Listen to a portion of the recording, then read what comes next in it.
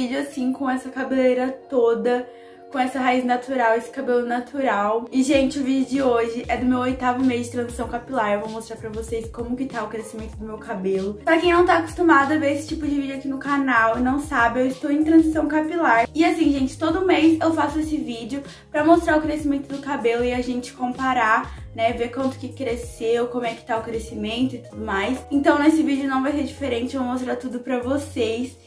E, gente, nossa, eu tô até assustada aqui, porque faz tempo que eu não vejo meu cabelo assim. Eu sempre lavo o cabelo e já faço algum penteado ou prendo ele. Eu tô assim, gente do céu.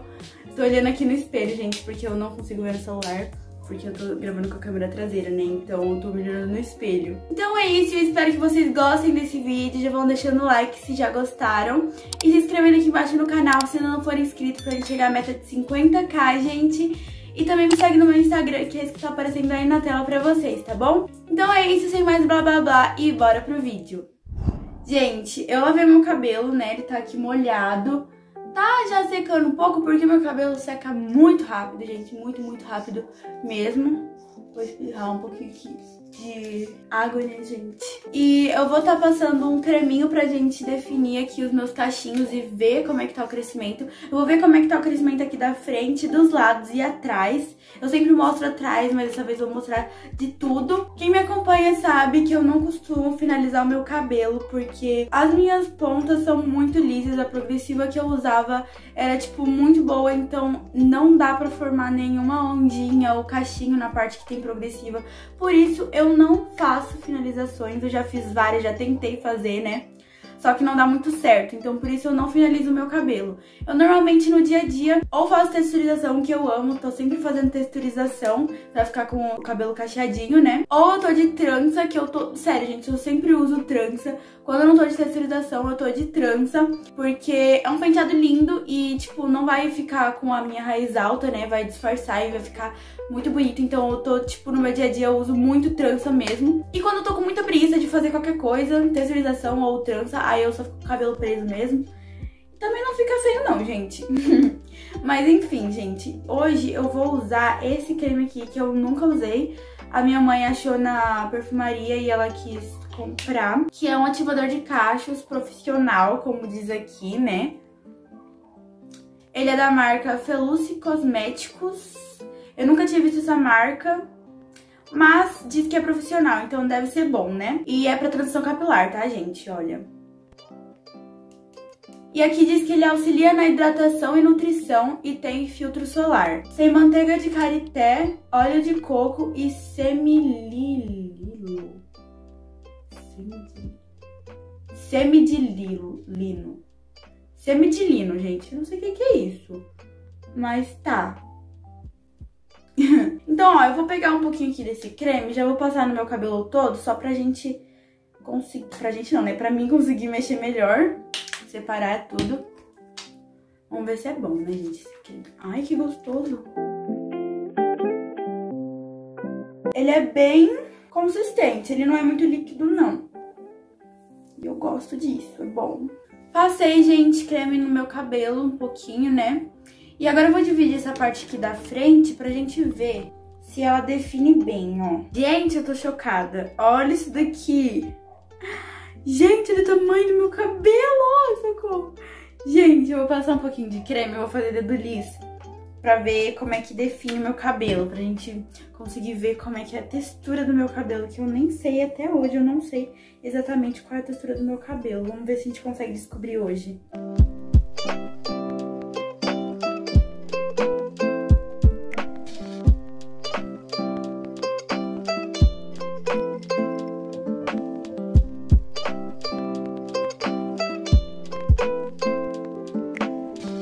Olha isso, gente. Olha que coisa mais fofinha. Ai, gente, tô apaixonada. Gente, que fofo, que fofo, gente. Já dá pra eu fazer uma franja aqui, se eu quiser, ó. Se eu corto aqui, vira uma franja. Só que eu acho que eu não tenho coragem de fazer isso, gente. Ai, que lindo, olha o tamanho. Gente... Ó, o cachinho chega até aqui, vai, mais ou menos. Misericórdia! Olha isso, gente. Olha como é que tá grande. O cachinho chega aqui, até aqui, né, ó. Daí, ó, vou pegar aqui, ó. E vou esticar. Aí começa daqui, né? Ó, vou medir, ó, desde o dedão aqui. Com a mão fechada. E aí, deixa eu ver mais uns... Gente, meu cabelo já tá com oito dedos de raiz. Oito dedos. Sabe o que que é isso? Oito dedos. Oito meses, oito dedos. Gente do céu. Gente, eu separei aqui o meu cabelo aqui na metade. Daí a gente já consegue ver aqui do lado e atrás também. Passei já creme, penteei. E, gente, olha como é que tá aqui dos lados. Tá assim, ó. Tá bem grande, gente. Olha isso daqui. Olha as molinhas, gente. Eu tô achando que o meu cabelo vai ser um 3B. Eu acho, gente. Não tenho certeza. Coloquem aqui nos comentários a opinião de vocês. Vocês acham que meu cabelo vai ser qual textura, gente? Eu acho que vai ser um 3B. Eu acho. Ó, gente, essa parte aqui já tá bem grande, ó. Vou medir aqui também com os dedos, né? Aí eu vou esticar e medir. Ó, cinco dedos desde a raiz aqui, ó. Cinco dedos. E aqui dá mais uns três, quase quatro, não, uns três dedos. Então tá oito dedos mesmo aqui, né? Aqui na frente e aqui do lado tá oito dedos. Vou medir desse lado também pra ver como é que tá. Cinco dedos. Aí aqui dá mais uns 3, 8 dedos. É, pelo visto meu cabelo tá tudo 8 dedos, né? Não sei como é que tá atrás, deixa eu mostrar pra vocês. Olha, gente, assim que tá atrás, eu só passei creme, penteei, não fiz dedo liso, não fiz nada. Pra gente ver direitinho como é que é a textura do meu cabelo. Eu não sei quantos dedos que tá, mas deve estar tá a mesma coisa, olha.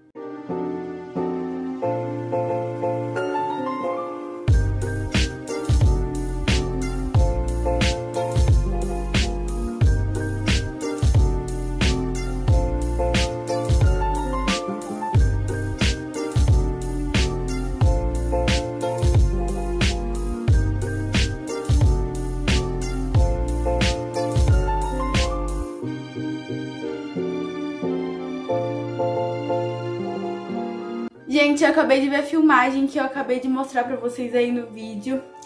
E, sério, eu tô chocada com o crescimento do meu cabelo. Eu não imaginaria que ele ia crescer tão rápido assim. Eu jurava que a minha transição ia demorar muito, muito, muito, muito. Mas também eu já tô com oito meses, né, de transição, nem parece. Parece que decidi entrar na transição ontem.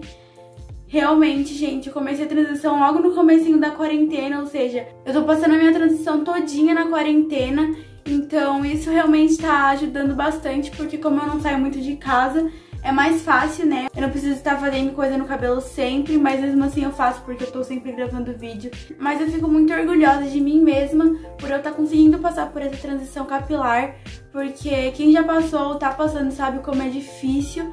E, tipo, querendo ou não, o cabelo, ele mexe com a sua autoestima, né? Se o nosso cabelo tá feio, nossa autoestima vai lá pra baixo.